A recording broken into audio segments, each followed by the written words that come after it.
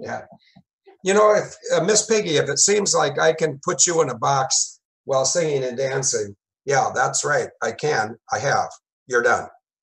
You're getting a free trip to Cuba. I hope I hope you like Cuban pork sandwiches because you've already been porked and you're going to be eating uh, I want to say a nice word because you're a nice lady. Cuisine.